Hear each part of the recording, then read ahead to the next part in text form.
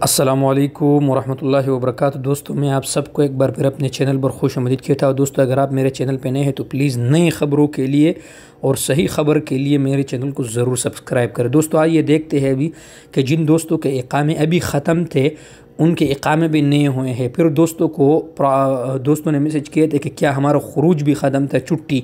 क्या वो नया हुआ है कि नहीं हुआ है? बाकी दोस्तों, मैं आपको सऊदी अरब का जो सरकारी चैनल है, उसका वीडियो दिखाना चाहता उसमें उसमें यही हुआ है, यही बोला है कि जिनके छुट्टी ख़त्म थे, तीन महीने के लिए उनका छुट्टी भी बढ़ा दिया है। आइए वीडियो आपको दिखाते हैं।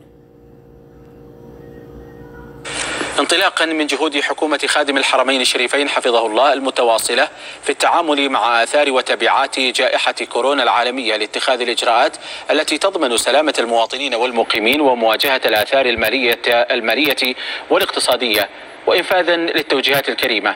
بدأت المديرية العامة للجوازات في تمديد هوية مقيم آليا للوافدين الموجودين داخل أو خارج المملكة العاملين في القطاع الخاص للمهن التجارية والصناعية المنتهية إقاماتهم من تاريخ الثالث والعشرين من الشهر السابع من عام 1441 للهجرة الموافق للثامن عشر من الشهر الثالث من عام 2020 للميلاد ولمدة ثلاثة أشهر إضافية دون مقابل مالي لتتطابق مع ما نفذ, نفذ مسبقا من وزارة الموارد البشرية والتنمية الاجتماعية.